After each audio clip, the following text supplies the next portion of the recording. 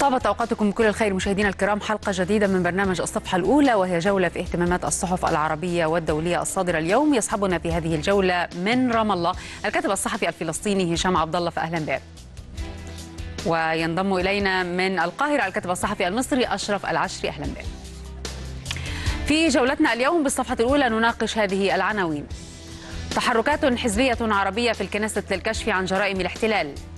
الصحف اللبنانية تحذر من تصعيد مع إسرائيل. تايمز البريطانية تتحدث عن تعاون وثيق بين طالبان وإيران.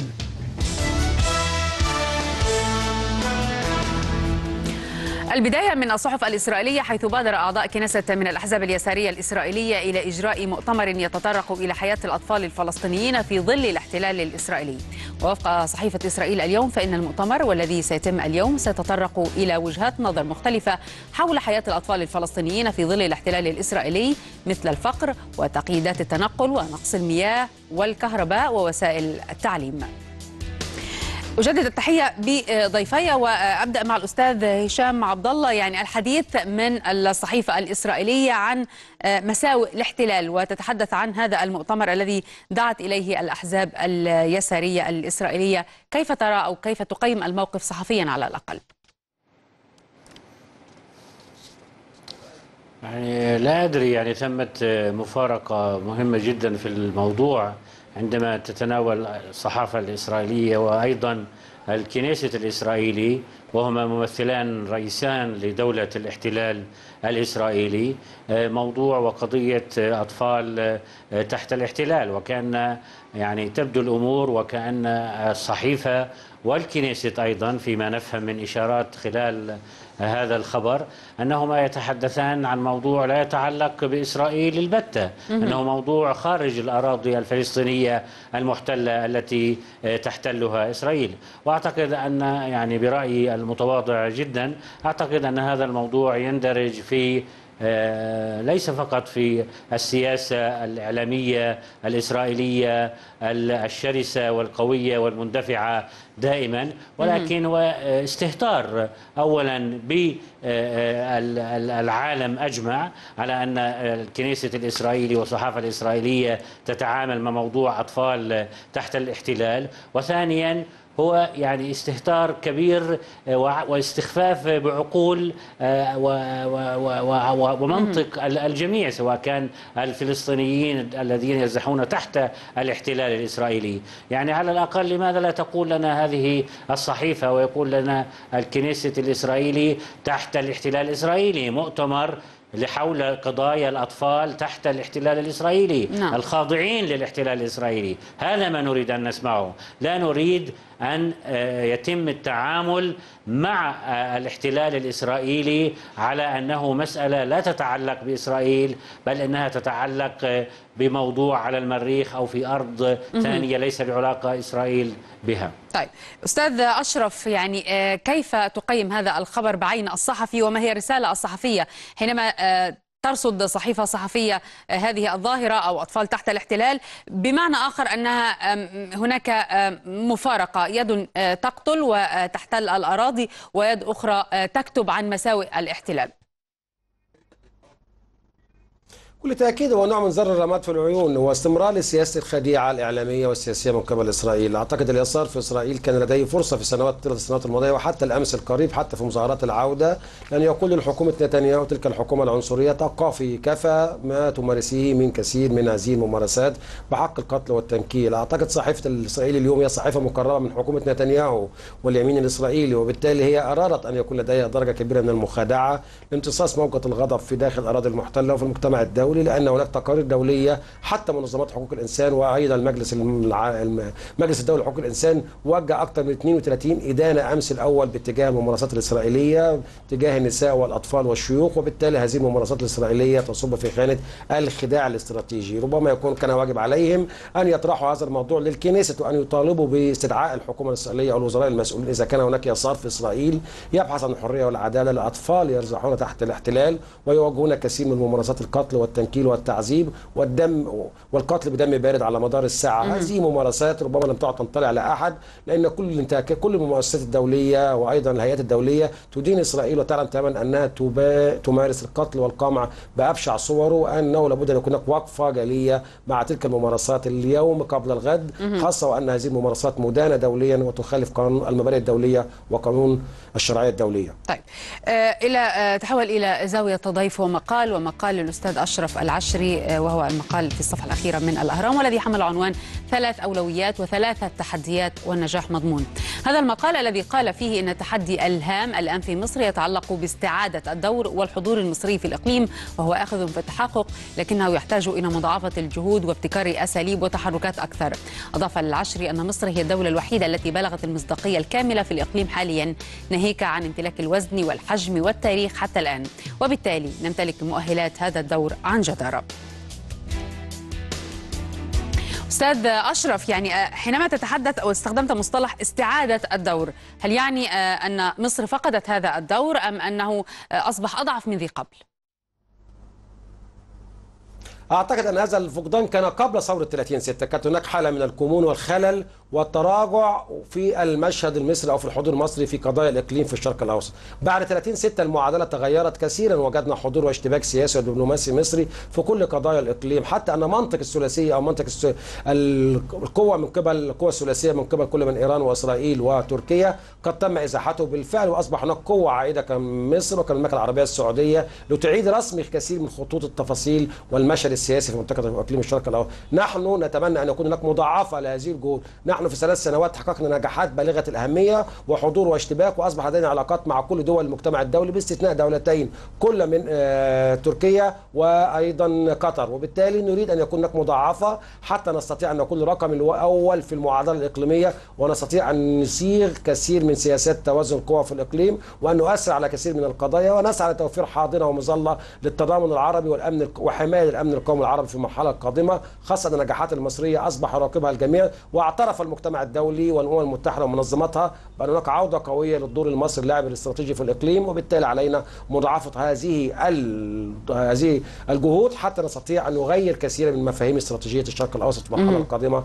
لصالح الدبلوماسية المصرية والدبلوماسية العربية في المقام الأول. طيب يعني في عجالة سريعة يعني مناسبة هذا المقال هل كان تزامنا مع زيارة المبعوثين الأمريكيين؟ بالفعل كان هناك بالفعل كثير من التزامن وكثير من التوقيت لأن هناك زيارة لكوشنر وجمبرالت المبعوث الأمريكي وأيضا طرح ما يعرف ببعض دقائق تفاصيل خريطة أو ما يسمى صفقة القرن، الدور المصري كان واضح وأنه لا بديل عن القدس الشرقية ولا بديل عن حل القضايا الرئيسية الخمس الرئيسية القدس والحدود والمياه واللاجئين وغيرها من القضايا. إذا كانت إدارة ترامب راغبة في تحقيق سلام استراتيجي ومقبول وتسمى صفقة قرن حقيقية عليه أن تؤخذ في الاعتبار المواقف الفلسطينية الحقيقية ومواقف مصر مواقف بقيه العواصم العربية وهذا الأمر الذي أدى إلى أن إدارة ترامب أعلنت في الأسبوع الماضي في اليومين الماضيين إدخال تعديلات هذه الصفقه قبل إعلانها لأن هناك بالفعل رفض مصر وعربي ولن يكون هناك قبولا إلا بالحقوق أو الحد الأدنى من الحقوق المشروعة للشعب الفلسطيني في هذا الشأن. طيب اسمح لنا أن نتحول إلى صحيفة اللواء اللبنانية. زعمت الصحيفة أن حزب الله اللبناني وجه رسالة مباشرة إلى فرنسا. مفادها تحذير إسرائيل من القيام بأي ضربة عسكرية ضد لبنان لأنها ترتد عكسيا عليها. كشفت الكاتبة في الصحيفة اللبنانية منال زعيتر من مصادر رفيعة المستوى في حزب الله اللبناني أن الوضع الإقليمي ليس طبيعيا وبدأ ذلك جليا من خلال كلمة الأمين العام للحزب حسن نصر الله الأخيرة. أضافت المصادر أن احتمالية الحرب واردة جدا لكنها ستكون خارج النطاق اللبناني أي في سوريا واليمن وعلى الحدود السورية العراقية.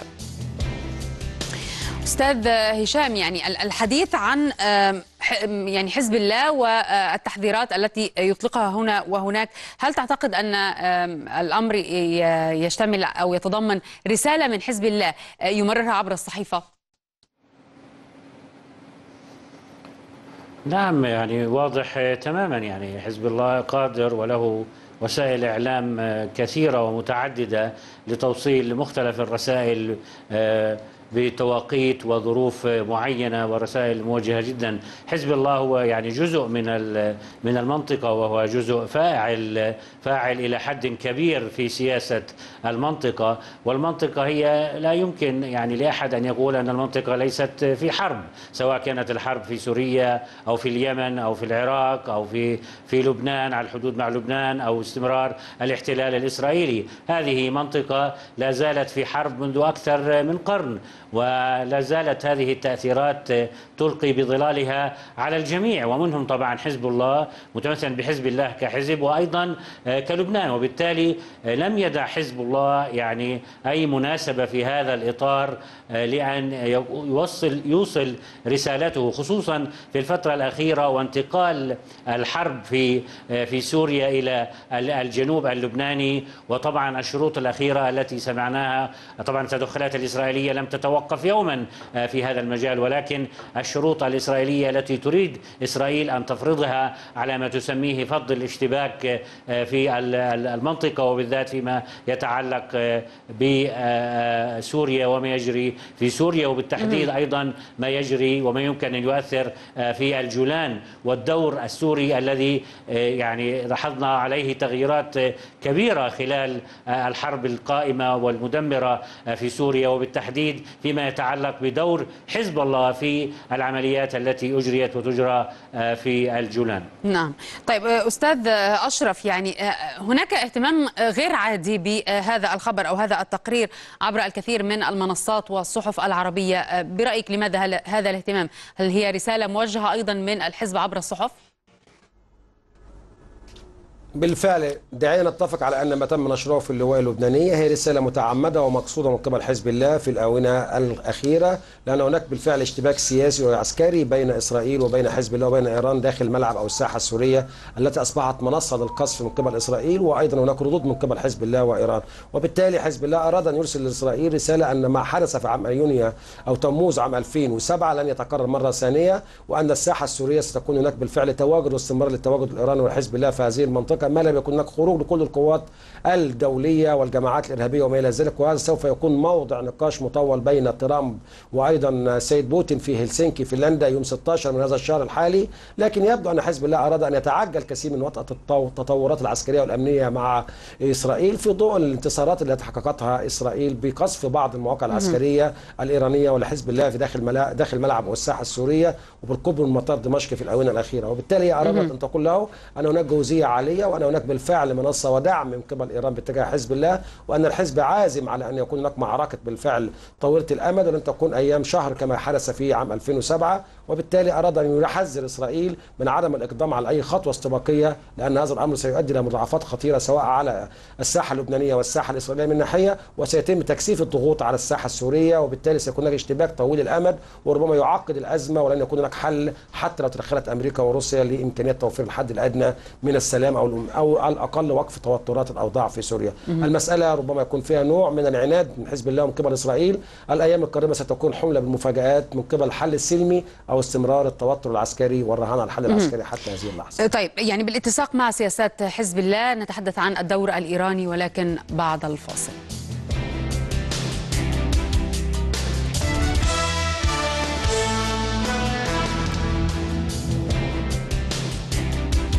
أهلا بكم من جديد. أفادت صحيفة التايمز البريطانية أن نفوذ طهران يتنامى في أفغانستان مع تصاعد التوتر في علاقاتها مع واشنطن.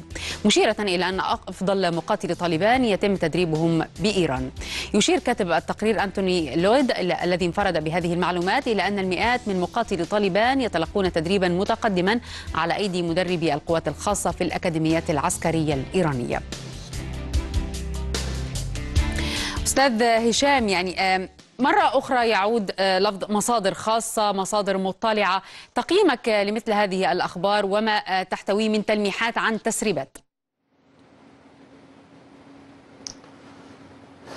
يعني أكيد يمكن أن تكون يعني معلومات صحيحة ويفترض بأي مصدر أو أي صحافة أو صحيفة أن تخرج معلومات للجمهور فيفترض أنها تكون معلومات سليمة وصحيحة ولكن لا يخلو الأمر أبدا من محاولة كثيرين يعني تسريب آه، ليس فقط آه، أو يعني آراء بشكل آه، معلومات. في هذا الإطار فيما يتعلق بإيران وأفغانستان وتدريب آه، إيران لمقاتلين من أفغانستان أعتقد أنه يقع في ذات النطاق المواجهة الباردة لنسميها ما بين الولايات المتحدة الأمريكية وحلفائها في المنطقة وإيران من جهة ومن يناصرها من جهة أخرى. إيران تع- تعرف وتعلم أنها تعتقد أنها يمكن لها أن تضغط على الولايات المتحدة الأمريكية في مواقع مختلفة في المنطقة. ليس فقط في لبنان وسوريا ولكن أيضا في أفغانستان وفي مواقع مختلفة أيضا في في اليمن وغيرها.